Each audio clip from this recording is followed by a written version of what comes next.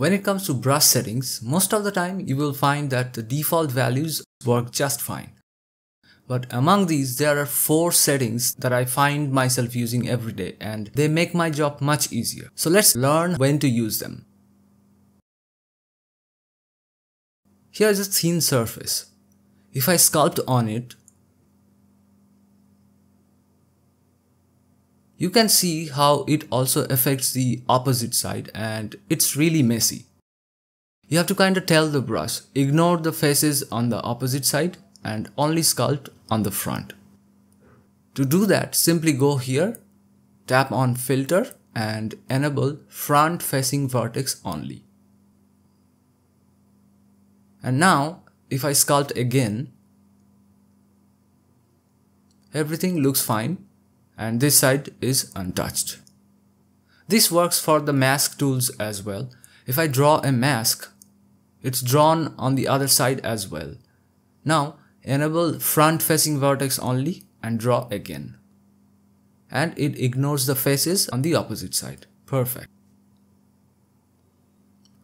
So here I have this model. All the parts are joined together.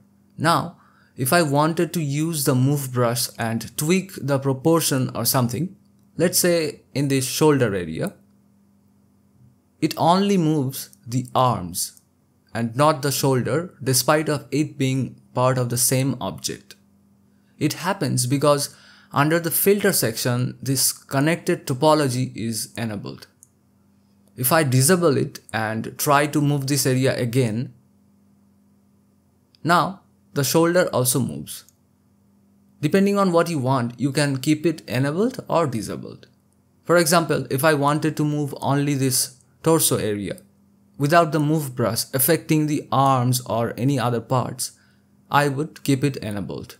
Very, very useful. Here we have this box shape. Let's say I want to change its outline shape using the move brush. So I do this.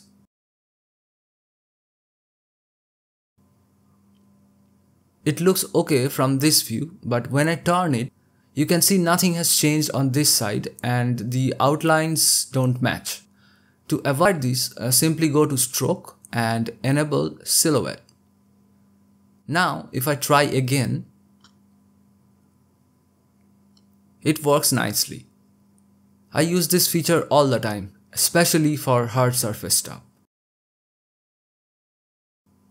Sometimes, when we sculpt lines on a surface, they can get wobbly or inconsistent.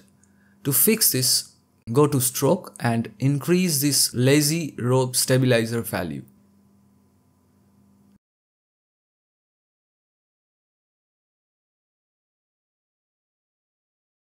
Now it looks smooth.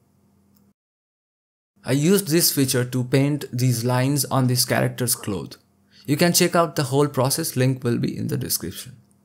So I hope you found this video useful. Subscribe for more tutorials like this and I will see you in the next video.